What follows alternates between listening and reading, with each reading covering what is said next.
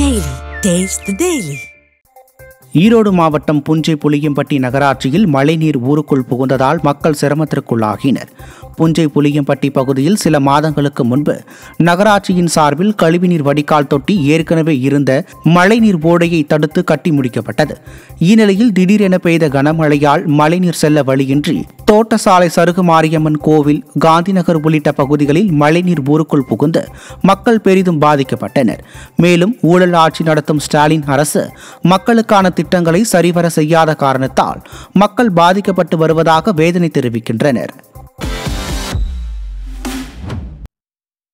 விருதுநகர் மாவட்டம் அருப்புக்கோட்டை சுற்றுவட்டார பகுதிகளில் வெளுத்து வாங்கிய கனமழையால் மக்கள் மகிழ்ச்சியில் உள்ளனர். அருப்புக்கோட்டை மற்றும் அதன் சுற்றுவட்டார பகுதிகளில் கடந்த சில தினங்களாக கடுமையான வெயில் சுட்டெரித்து வந்தது. இந்நிலையில் திடீரென சுமார் இரண்டு மணி நேரத்திற்கு மேலாக கனமழை வெளுத்து வாங்கியதால் பல இடங்களில் மழைநீர் தேங்கியது. இந்த கனமழை காரணமாக நகரின் பல இடங்களில் மின்தடையும் ஏற்பட்டதால் மக்கள் அவதிக்குள்ளாகினர். திறனற்ற ஸ்டாலின் ஆட்சியில் அதிகாரிகள் எந்தவொரு வேலையும் செய்யாமல் அலட்சியம் காட்டுவதாக மக்கள் வேதனை தெரிவித்தனர். புதுக்கோட்டையில் பெய்த கனமழையால் வீட்டிற்குள் தண்ணீர் புகுந்து மக்கள் அவதிக்குள்ளாகினர். புதுக்கோட்டையில் கடந்த சில வாரங்களாக வெயில் வாட்டி வந்த நிலையில் திடீரென கனமழை வெளுத்து வாங்கியது. இந்நிலையில் புதுநகர் என்ற இடத்தில் இருபதற்கும் மேற்பட்ட வீடுகளில் மழைநீர் புகுந்ததில் அப்பகுதி பொதுமக்கள் மிகுந்த சிரமம் அடைந்தனர்.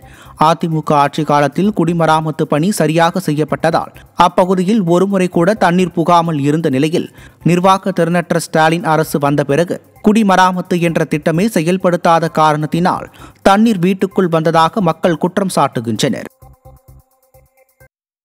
கடலூர் மாவட்டம் குறிஞ்சிப்பாடி அருகே தனியார் பேருந்து சென்டர் மீடியனில் மோதிய விபத்தில் பயணிகள் படுகாயமடைந்தனர்.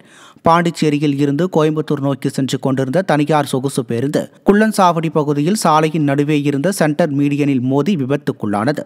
அப்போது பின்னால் வந்து கொண்டிருந்த கார் ஒன்று கட்டுப்பாட்டை இழந்து பேருந்தின் பின்புறம் மோதி பேருந்துக்கு அடியில் சிக்கியது. அப்போது காரில் இருந்தவர்கள் அதிர்ஷ்டவசமாக உயிர் தப்பினர் அப்பகுதியில் புதிதாக சென்டர் மீடியன் அமைக்கப்பட்ட நிலையில் சென்டர் மீடியன் கட்டையில் ரிஃப்ளேட்டிங் ஸ்டிக்கர்கள் வைக்காததே இதுபோன்ற விபத்துக்கு காரணம் என பொதுமக்கள் குற்றம் சாட்டு